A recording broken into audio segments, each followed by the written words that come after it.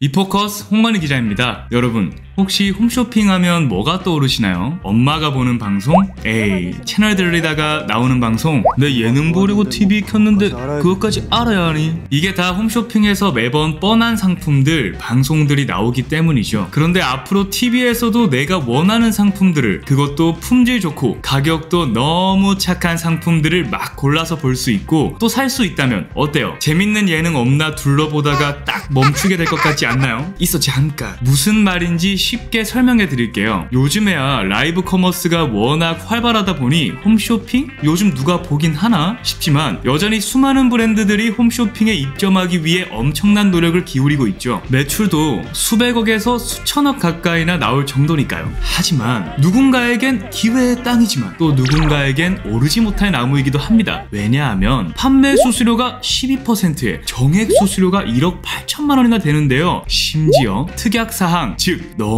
비싼 TV 홈쇼핑 수수료까지 있기 때문입니다. 예전부터 백화점보다 홈쇼핑 수수료가 더 유명했죠. 거기다 품질 검사나 MQQ를 충족시켜야 하기 때문에 중소기업에게 TV 홈쇼핑과 티커머스 진입 문턱은 너무나 높습니다. 에휴, 노래나 불러야겠네요. 텔레비전에 내가 나온다면 정말 좋겠네. But. 10번 찍어 안 넘어가는 나무가 없다라는 말이 있지 않습니까? 이번에 중소기업 전용 티커머스 채널이 생긴다고 하는데요. 티커머스가 뭐냐 하면 TV를 보는 중에 전화가 아니라 그냥 리모컨 조작을 통해 상품을 구매할 수 있는 방식을 말해요. 이커머스와 비교되는 개념이죠. 지난 23일 국회에서 중소기업 중앙회와 중소벤처기업 정책학회가 중소벤처기업 판로 확대 방안 마련을 위한 정책 토론회를 열었는데요. 만약 채널이 신설된다면 연간 8,760개 중소기업 상품을 소개할 수 있다고 하네요. 쉽게 말해 송출 수수료 최소화와 업계 최저 수준 판매 수수료 그리고 정액 방송 금지 등 허가 조건을 통해 100% 중소기업 제품만을 취급하는 티커머스 사업으로 중소기업과 소상공인의 판로를 열겠다는 것으로 분석됩니다. 판매가 그만큼 굉장히 중요합니다. 그래서 중소기업에서 어, 판로에 대해서 우리가 첫 번째 문을 두드리는 곳이 어, 홈앤쇼핑이나 어, 또는 공용 홈쇼핑 같은 이 홈쇼핑 시장입니다.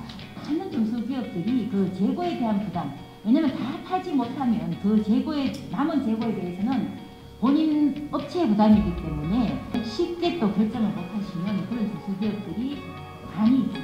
힘 있는 국회의원들과 절실한 중소기업들이 만났으니 중소기업 전용 티커머스 채널을 조만간 볼 수 있을 것 같네요. 2년간의 코로나19 팬데믹으로 인해 지치고 힘드셨을 많은 중소기업과 소상공인분들에게 힘이 되는 정책과 사업이 꼭 이루어지면 좋겠습니다. 지금까지 저는 이포커스의 홍관희 기자였습니다.